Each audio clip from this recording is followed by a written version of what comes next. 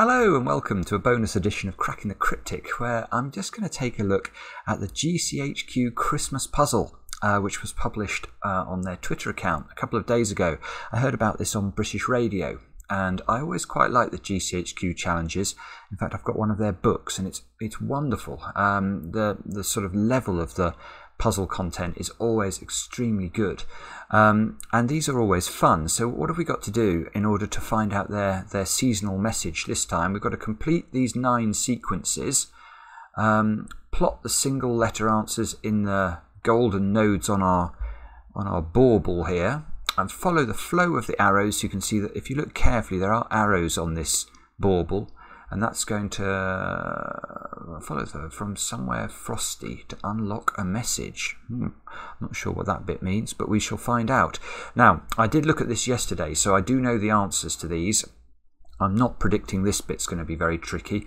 So, um, uh, what I'm going to do is we'll, we'll do this as a quiz today. Um, and uh, see how you go. I don't think you need to be brilliant at English. I know a number of our viewers are, won't have English as their um, sort of first language. I don't think you need to in order to solve this. There are some of them that are a bit vicious if you if you don't have English as a first language, but I think it's it's achievable even without that. So what we'll do is we'll start off and I'll go through them in in my suggested order of difficulty. So let's start with this one, GFEDCB.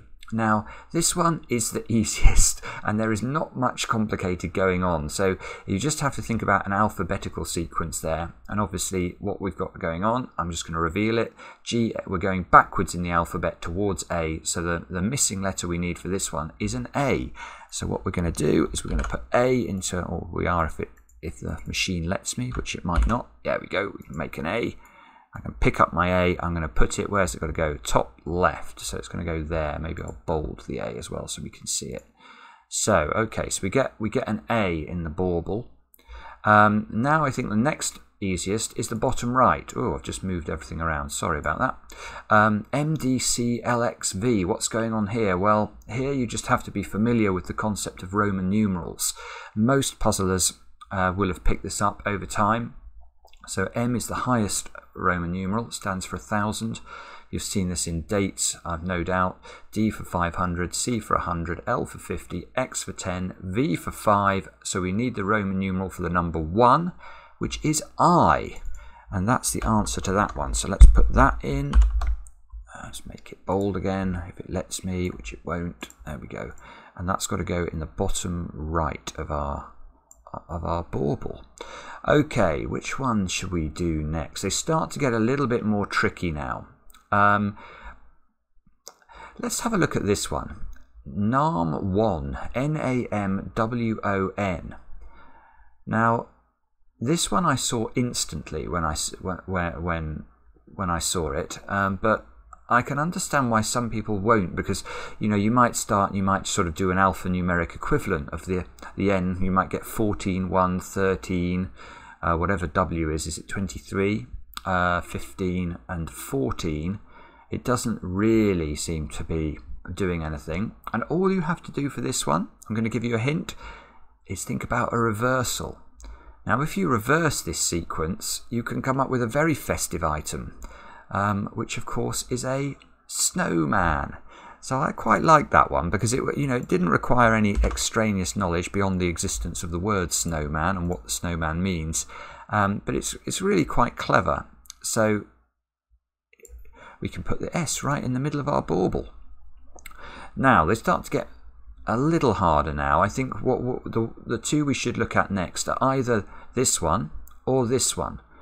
Both of these are quite cute. Let's try the H H H H E L I B sequence. Here we need to be thinking about chemistry. And if you're familiar with your periodic table, that will help. Um, maybe your Tom Lehrer will help as well. Uh, although Tom Lehrer is ordering, well, how does it go if there's antimony, arsenic, aluminum, selenium, hydrogen, oxygen, nitrogen, rhenium, etc.? That's not going to help. What we need to just go is go through the periodic table from the first element, which is hydrogen, abbreviated to H, hydrogen, helium, lithium, beryllium. So He for helium, Li for lithium, beryllium I think is Be, so I think we're looking for an E here. Let's put the E into our bauble and see where that takes us. So E goes here, look. Try and make it so it's clear or I'm not overlapping with anything that I shouldn't be overlapping with, something like that. Um, okay. Ah, now I've understood the somewhere frosty. From somewhere frosty, is that saying Frosty the Snowman? Maybe that's why, maybe that the S is the place we have to start here.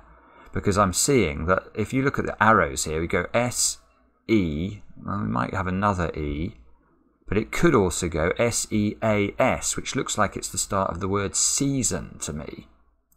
So, hmm, suspicious. Anyway, let's try this one. I like this one a lot. Um, and the key to solving this one, I think, is just to think about what an X might mean in a sequence. Um, and if you're, you know, if you're used to doing these what comes next type things, I think you'll get this quite quickly. Otherwise, it could be tricky. What we need to think about here is numbers. So if you were to write the numbers out, 1, 2, 3, 4, 5, 6, 7, 8, 9, 10, if you were to look at the last letter of each of those numbers, the end of the letter 1 is an E, the last letter of the word 2 is an O, etc. The 6 is what gives it away, S-I-X. So what we need is the end letter of the word 7, which of course is an N. That's fine, let's put N in, N in our bauble now bold it up. So that's going on the right hand side just there. Okay, now the last four are all, I think, trickier. So I think the next easiest one is this one, uh, which is, I mean, what I admire about what GCHQ do in these is that they they pick at different parts of your brain each of these is a very different, you know, has a very different quality to it. You know, you have to know a bit about chemistry to get this one. Not a lot, just enough. You have to think a bit laterally about this one. Well, this one, you've got to be familiar, I'm going to give it away with my next word, with a keyboard. So maybe if you're if you're doing this on your computer, look down and then think about this sequence. And most people are very aware of QWERTY as the top row of a keyboard, but if you started QWERTY from the other side, you would get the sequence P O I U Y T, and then therefore we need an R. So let's put R into our into our bauble, and that goes here. Look, try and get it underneath the A as, as well well as I can. Uh, so ah, maybe ah, no season ah season still looks good if that's an O look, or even if that's no, it has to be this one has to be an O. So we suspect the answer to this one is O. Now we've got three left. We've got this one which is vicious, this one which is vicious, and this one which is quite vicious. Let's start. Let's start with this one. This this is a um, I think GCHQ's attempt to say, you know, they embrace all cultures. Um, because what we need to do to be able to solve this one is to be familiar uh, with an, uh, another culture's celebrations at this time of year. And if you don't if you don't have that thought, I don't believe this sequence is solvable at all. You can stare at these letters till you're blue in the face and you won't get anywhere. So, what you have to realize, you have to think about the Chinese culture, the Chinese New Year, and then you have to think about which animals represent the Chinese New Year. Now, if we do that properly, let's come and have a look here. So, and we go round the sequence, which began with GMRDPR. So we've got goat, monkey, rooster, dog, pig, rat, and so the missing one, the last one in the sequence, is the ox. So we do get an O in the top, um, in the top right of our bauble. Let's put the O in. I told you that was tricky. Um, and we can place the O here. And now you can see we've actually, we've got the word season. And where are we going to go next? So from the N, we're going to go down to this one. And then we're going to go R, E, back to E again. So you can see now, you can probably get the answer. It looks like it's going to be season, season greetings or seasons greetings maybe. Seasons. Yes, it's going to be seasons greetings. It's going to go from N back to S, down to G, then R, double E, So this is going to be a T, this is an I, N, back to the G, back to the S again. So season's greetings is the message we're heading for. We know the answer now. We're going to have a G here as the next one in this one. And we're going to have a T here for the next one in this one. So your challenge is to work out why this is G and why this is T. Now let's do this one first. I think that this is this is pretty tricky. Um, and I think the reason it's tricky is trying to work out, it almost looks like an alphabetic sequence, or NOH sounds like it's something chemical. Um, but PQ, what could Q stand for? And I spent a while thinking about Queen here, but that, that won't help you. What we have to come up with is that this is about shapes. How is it about shapes? Well, a nine sided shape is a nonagon, an eight sided shape, an octagon, a heptagon, a hexagon, a pentagon, a quadrilateral. So what's a three-sided shape? Well, that's where we get our T from. It's a triangle. So we can put, uh, let's bold that one up and put our T here. So we just need to figure out why this is G, and it's a very fitting Christmas-related um, answer. And if I even tell you that this is a Christmas song related answer, I still think some of you will spend some time wondering what's going on here. Um, so I'm going to give it away now. I'm going to talk about a partridge in a pear tree.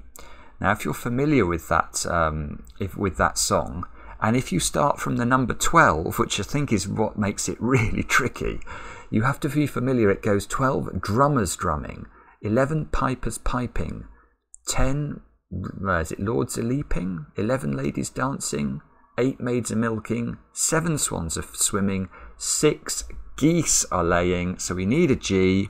We can get the G, put it in bold, go and put it in here, and we create our final part of the season's greetings message. So thank you very much to GCHQ for setting another lovely little brain teaser. I hope you enjoyed working through it. Let us know in the comments, and we'll be back later with a normal edition, of course, of Cracking the Cryptic.